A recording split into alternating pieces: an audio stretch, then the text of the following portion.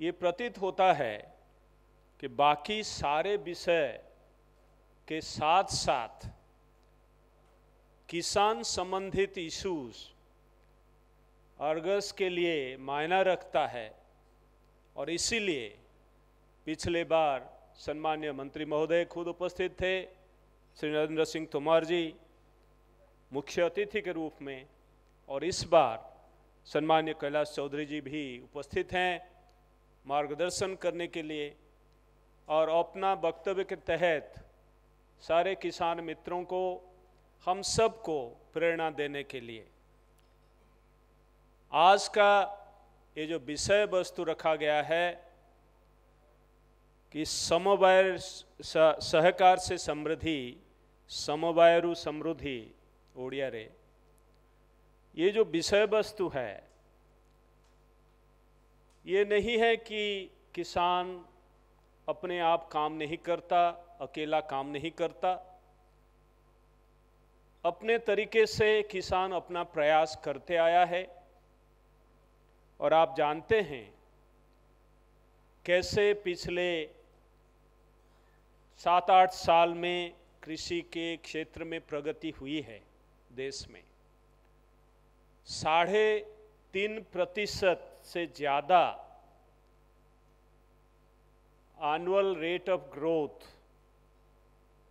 कृषि क्षेत्र में और कृषि एवं अलाइड सेक्टर के क्षेत्र में, ये वृद्धि हम देखे हैं कोविड के बावजूद। अत्यंत सराहनीय है अब भारत सरकार के समस्त योजना के कारण ये सफल हुआ है, संभव हुआ है। और राज्य सरकार भी अपने अपने तरीके से इसमें योगदान दिए हैं। सम्मान्य प्रधानमंत्री जी आह्वान दिए थे कि किसान के आमदनी में वृद्धि होना चाहिए, दुगनी होना चाहिए। भारत सरकार के कृषि मंत्रालय के तरफ़ से सम्मान्य कृषि मंत्री एवं कृषि राज्य मंत्री इनके मार्गदर्शन में हम लोग ने भारतीय कृषि अनुसंधान परिषद के तरफ़ से कई गाँव गोद में लिया गया। टेक्नोलॉजी का अडॉप्शन कैसे हो, उसके लिए चर्चा के तहत, प्रयास के तहत ध्यान दिया गया, किसानों को मदद किया गया, सरकार की योजना का कुछ फ़ायदा उनके पास पहुँचाया गया। राज्य सरकार के साथ हाथ मिलाते हुए काम किया गया। और अभी पचहत्तर हज़ार किसान का आमदनी का दुगुनी, पाँच गुनी और दस गुनी कुछ किसानों का जो आमदनी में वृद्धि हुई है, उसका हिसाब करते हुए एक डॉक्यूमेंट बनाया गया है।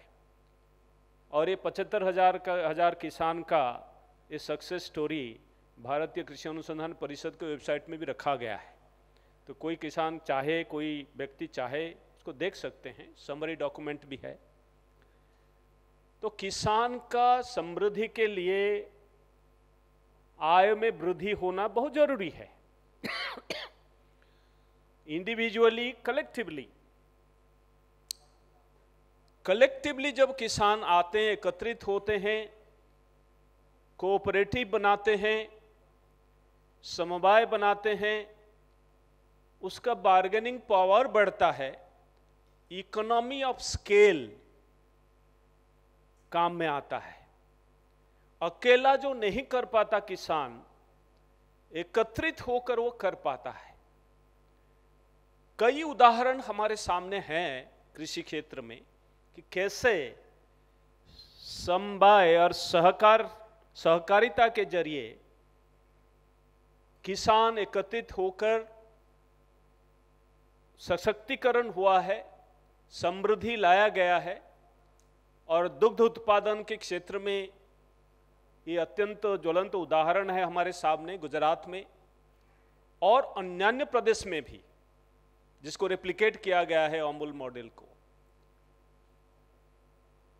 तो उसका अगर गहराई से देखा जाए, दो तीन बातें हैं जिससे सीख लेने की आवश्यकता है। आज अगर हम सहकारिता की बात करते हैं तो किस तरीके से किया जा सकता है? भारत सरकार दस हज़ार फार्मर प्रोड्यूसर ऑर्गेनाइजेशन बनाने की बात की है और कई बन चुके हैं, कई हज़ार बन चुके हैं। और ये जो बनाने की उद्देश्य है, उसी दिशा में एक कदम है कि सारे किसान इकट्ठे आएँगे, काम करेंगे और इकोनॉमी ऑफ़ स्केल ऑपरेट करेगा और किसान का बार्गेनिंग पावर बढ़ेगा। और किसान खुद प्रसंस्करण कर सकता है उत्पादन के साथ साथ गुणयुक्त जब होगा उसका पदार्थ, उसका भाव ज़्यादा मिलेगा बाज़ार में और बाज़ार के साथ जुड़ पाएगा, तब जाके उसको फ़ायदा मिलेगा, ज़्यादा फ़ायदा मिलेगा। और ये सहकारिता का ये एक नतीजा है जो हमारे सामने है, दुग्ध उत्पादक इकट्ठी होते हुए गुजरात में, जो उत्पादन थोड़ा थोड़ा उत्पादन करते थे, जब इकट्ठी हो जाता है, उसका वॉल्यूम बढ़ जाता है स्केल ऑफ़ ऑपरेशन बढ़ जाता है, और उसी के साथ साथ उसका डिस्ट्रीब्यूशन, मार्केटिंग, पैकेजिंग, ब्रांडिंग उसके साथ साथ चलता है, और डिस्ट्रीब्यूशन होता है तो उसका उसका जो है फ़ायदा किसान को मिलता है, और जितने प्लेयर्स होते हैं, वो वैल्यू चेन में सबको फ़ायदा होता है। और इसका रेप्लीकेशन कई प्रदेशों में हुआ है। और उसके विस्तारित रूप से अन्य वक्ता बताएँगे, लेकिन ये एक मुख्य जो हमारा फ़ायदा है कि इकोनॉमी ऑफ़ स्केल होने के कारण तो किसान को फ़ायदा होता है। दूसरी बात यह है कि कंज्यूमर्स को भी फ़ायदा होता है। गुणवर्धन होने के कारण कंज्यूमर को भी फ़ायदा होता है। अभी बताया गया जैसे प्रसंस्करण होने के कारण मेडिसिनल प्लांट्स में किस तरीके से गुणयुक्त होता है पदार्थ और बाज़ार में जाता है तो जो यूज़र है उसको भी फ़ायदा होता है। इसी तरह का कई उदाहरण है। अभी इफ्को का रिप्रेजेंटेटिव मैनेजर यहाँ बैठे हैं। उसके बारे में हम अभी चर्चा कर रहे थे। कितना बढ़िया उदाहरण है। चालीस हज़ार से ज़्यादा कोऑपरेटिव इकट्ठी आकर ये इतना बड़ा यू नो ऑर्गेनाइजेशन खड़ा किए हैं। और किस तरीके से उनको रिटर्न्स मिलता है, और सीएसआर के तहत हो और अदरवाइज़ तो ये जो सहकारिता का जो फ़ायदा है, वो कई उदाहरण है हमारे सामने और किसान इकट्ठी आते हैं तो उनका ही फ़ायदा होता है. लेकिन ये संभव नहीं होता हर अक्सर कि किसान इकट्ठी आए तो हर अक्सर फ़ायदा हो. उसके लिए हमें कुछ चीज़ों की आवश्यकता होता है और ये स्टडी से पाया गया है कि उसके लिए जो नेतृत्व की आवश्यकता है, वो नेतृत्व की अगर अभाव हो तो ये सफलतापूर्वक उसका इंप्लीमेंटेशन नहीं हो पाता। और नेतृत्व, वो सबको लेके चलने वाला नेतृत्व होना चाहिए, सबका हित देखने वाला नेतृत्व होना चाहिए, और जब उस तरह का नेतृत्व होता है, सहकारिता का तब जाके उसका पावर बढ़ जाता है।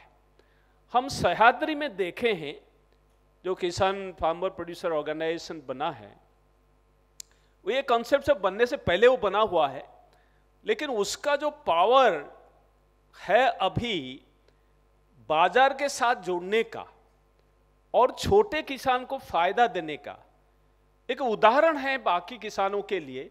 कि कैसे हम सफलतापूर्वक इस तरह का सहकारिता बना सकते हैं। लेकिन एक दो बात और करके मैं समाप्त करूँगा। समय बहुत संक्षिप्त, बहुत सारे वक्ता हैं, उनसे सीखने की आवश्यकता है हमें, और सम्मान्य मुख्य अतिथि को भी सुनना है। एक बात यह है कि हमारे सारे किसान, छोटे और सीमांत किसान, पंचासी प्रतिशत से ज़्यादा, छोटे खेत और फ्रैगमेंटेड लैंड होल्डिंग होने के कारण वो इकोनॉमी ऑफ़ स्केल नहीं हो पाता। और ये छोटे खेत के कारण उसमें टेक्नोलॉजी भी व्यवहार नहीं हो पाता सही तरीके से। और इसीलिए छोटे किसान और बड़े जोत होने की आवश्यकता है। और वहाँ कोऑपरेटिव बनाना ज़रूरी है। और कोऑपरेटिव जब बनता है, छोटा खेत छोटा किसान होने के बावजूद खेत बड़ा हो जाता है। और कई अनेक अनेक देश में, अन्य देश में इसका उदाहरण है। छोटे किसान, बड़ा खेत। और बड़ा खेत होने के कारण टेक्नोलॉजी इस्तेमाल होता है, सही टेक्नोलॉजी का इस्तेमाल होता है। हम अभी बोलते हैं कि ड्रोन का इस्तेमाल करो। किसान ड्रोन का लॉन्च हुआ है। और ड्रोन का इस्तेमाल खाली स्प्रे, पेस्टिसाइड या खाद केमिकल, रासायनिक खाद स्प्रे करने के लिए नहीं है। वो तो कर सकते हैं। लेकिन उसके साथ साथ सही समय पर सही परिमाण में खाद देना, पानी देना, उसका बचत करना, प्राकृतिक संसाधन का सही इस्तेमाल करना, पैदावार बढ़ाना, सही समय पर हार्वेस्ट करना और प्रसंस्करण करना, ये सब उसके साथ जुड़े हुए हैं और उसके साथ साथ किसान को फ़ायदा देना। और सहकारिता के साथ इसको जब जोड़ दिया जाता है, छोटे और सीमांत किसान को फ़ायदा होता है। छोटा किसान बड़ा हो जाता है और खेत बड़ा होने के कारण टेक्नोलॉजी का इस्तेमाल सही हो पाता है। और ये छोटे खेत में अगर ड्रोन से स्प्रे करने लगेंगे, दूसरे किसान जो बगल में खेत है, उसके खेत में जब केमिकल गिरता है, वो ऑब्जेक्ट कर सकता है, उसका ऑर्गेनिक खेत भी हो सकता है। तो इसलिए बहुत सोच समझकर सहकारिता को अपनाते हुए कोऑपरेटिव सिस्टम को मॉडल को अपनाते हुए उसका फ़ायदा लेना चाहिए और ये किस तरीके से इसको सरकार अपनाएगा और इम्प्लीमेंट करेगा, इसके बारे में हर एक स्टेट गवर्नमेंट चर्चा करते हैं। अब आजकल कोऑपरेशन अलग डिपार्टमेंट बन चुका है, उड़ीसा में भी बना हुआ है और मैं समझता हूँ उसका पूरा फ़ायदा उठा रहे होंगे और उठाएँगे भी। और ये बड़ा खेत जब हो जाएगा उसमें इरिगेशन मैनेजमेंट सही हो जाएगा, पानी का बचत होगा, खाद का बचत होगा, बड़े प्याच में आप ऑर्गेनिक का खेती कर सकते हैं और ड्रोन का इस्तेमाल करते हुए सारे फ़सल का मॉनिटरिंग कर सकते हैं और कब हार्वेस्ट करेंगे उसको भी डिटरमाइन कर सकते हैं, जान सकते हैं और बाज़ार में सही मूल्य आपको मिल सकता है। तो इसीलिए मैं सारे किसान मित्रों को निवेदन करूँगा, इसका फ़ायदा तो लेना चाहिए सहकारिता का, लेकिन इसके बारे में सरकार के जो योजनाएँ हैं, उसके बारे में जानकारी भी होना चाहिए। और जानकारी के अभाव से कारण जो किसान सारे प्रोग्राम का फ़ायदा नहीं ले पाता। और इतने योजनाएँ हैं, उसमें किसान कंफ्यूज भी हो जाते हैं। सारे फ़ायदा सारे फ़ायदा के बारे में जानकारी भी ले नहीं पाते हैं।